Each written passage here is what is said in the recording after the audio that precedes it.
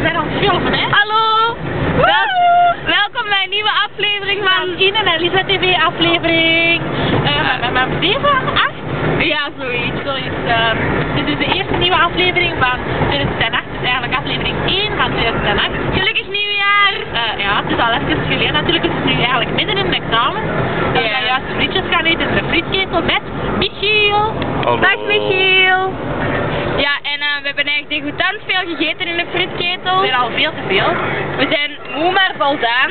Maar onze trip van vandaag is nog niet een einde, Lisbeth. Nee, nee, we gaan nog naar de Free Shop. Maar niet in Gent, in... Keerne!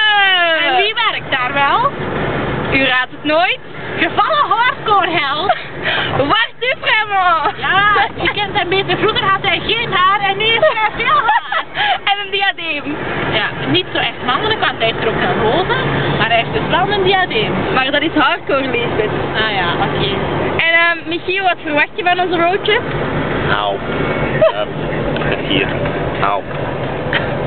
Oké, help.